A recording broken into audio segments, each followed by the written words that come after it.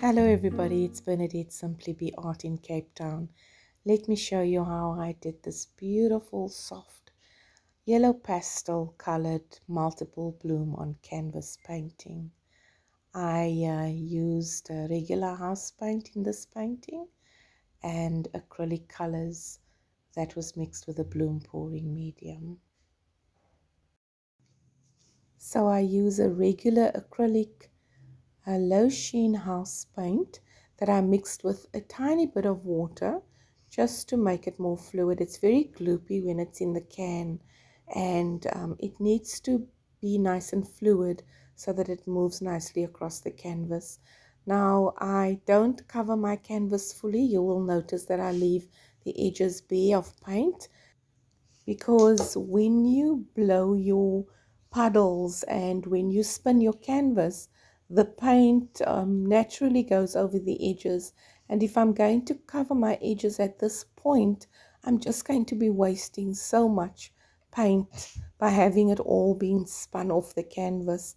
So this helps me to gauge how much paint I already have and so that I don't over flood my canvas.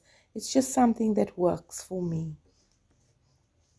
So once I'm done leveling out the pillow paint, I would pop the air bubbles that come up to the surface. And this is the only time that I pop the air bubbles. So I'm laying down my colors. I'm going to do a deconstructed bloom background on this painting first before I lay down the bloom puddles again. So I'm starting with the yellow ochre and then the Tuscan yellow. And the Tuscan yellow is going to be followed by a sunshine yellow. And I'm only using these three yellow colors uh, for my uh, deconstructed bloom background. My cell activator is a white and a black uh, cell activator. I use uh, Amsterdam paints in titanium white and oxide black and I mix that with uh, Australian Floetrol in the ratio 4 to 1. So my next step is to use my blow dryer and stretch out the cell activator across the colors. My hair dryer is always on a high speed, um, on a cool air setting, and um, I really push the air pressure into the puddle, into the center of, of the puddle to spread out the cell activator to create nice beautiful cells that we can stretch out later on. So I'm first doing that with all three puddles and then I'm going to stretch out the puddles to create the deconstructed bloom.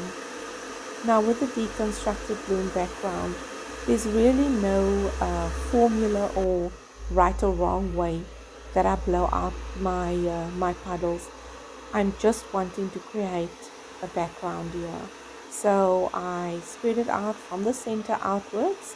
I'm creating uh, petals, but those petals are soon going to be spun out.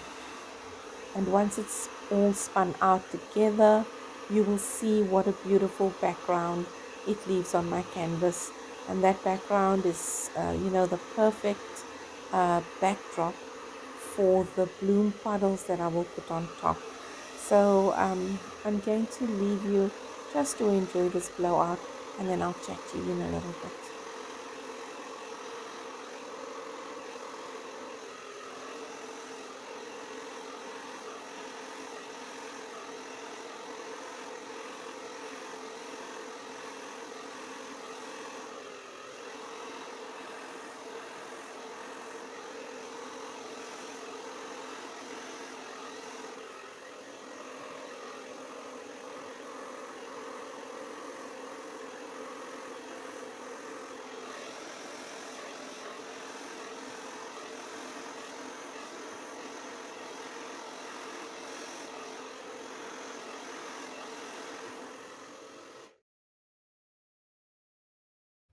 I'm going to give the canvas a couple of spins in both directions to spread out that uh, deconstructed bloom across all the edges.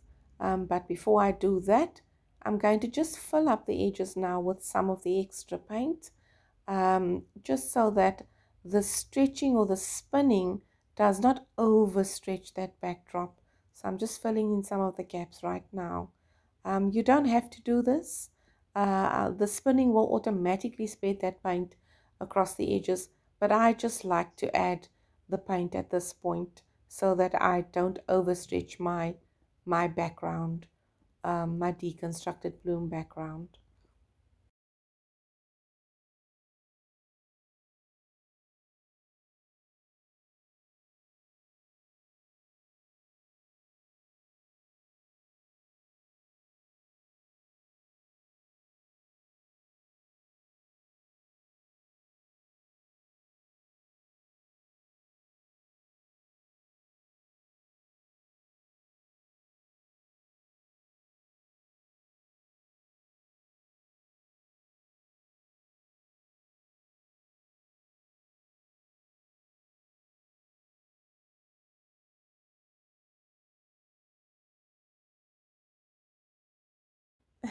And I'm so amazed at the you know the results of that blowout. And this painting looks so beautiful as it is right here.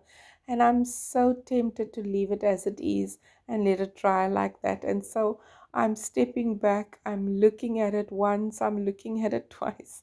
And I really have to make the call. Do I do a bloom on top? And yes I do. I take out extra puddle uh, um, paint for my pillow. I'm laying down a new bloom uh, puddle and I'm going to add some extra colors to it and I'm starting with the gold metallic and that is going to be followed by a, um, a yellow ochre and then I'm going to top it up further with some burnt umber uh, just for a contrast color.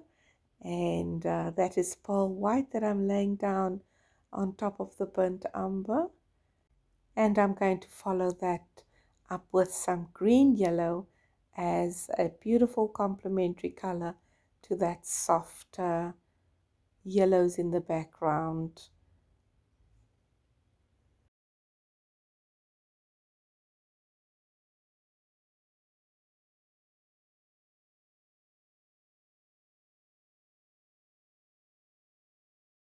I'm adding some of the yellows to this as well. That's a sunshine yellow. And I'm finishing off the puddle with the white and a tiny, tiny bit of black cell activator. The black cell activator is very powerful. It can take over your bloom. So be very careful with the black.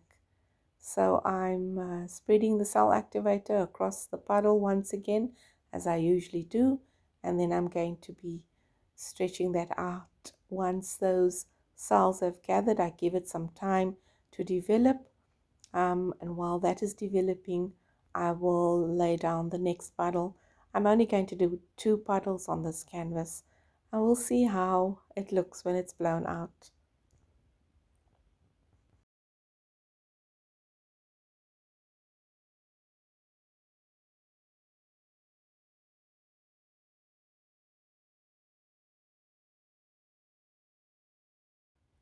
So I'm getting ready now to blow out those petals of the uh, bloom on top of the uh, background. I'm hoping to get six petals in each of the blooms.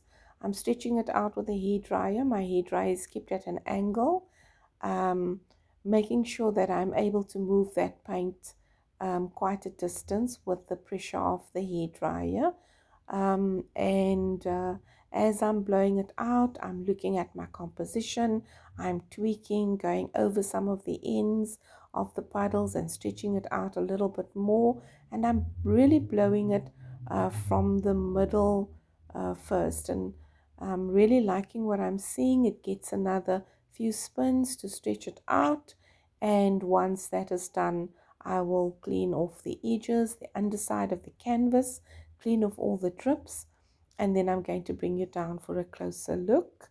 So um, I'm using a, uh, that is a skewer stick that I use to pull the paint from the outside to the inside just to define those bloom petals and making sure that I'm counting six petals in each one of those blooms. Now um, pulling in the uh, bloom the paints from the outside to define the blooms is something that I've been doing for almost a year now. I started pulling it on my coasters and then I did it on my Dutch pours and now I do it on my blooms and I really like that it separates the petals in the bloom. I'm giving each bloom petal now a little bit of a wispy edge also using the skewer stick. So you can play around with your blooms um, and create some nice interesting detail as much or as little as you want. So if this is the first time watching my channel, please consider subscribing. I have a long playlist of all my other blooms. I will put the link at the top for you now. Please go and have a look at it. They're really great uh, tutorials, great to learn from, um, and fun to watch as well. So thank you everyone for being here once again. Um, I really appreciate your viewership. I will talk to you and see you on the next video. So take care and stay well. Bye for now.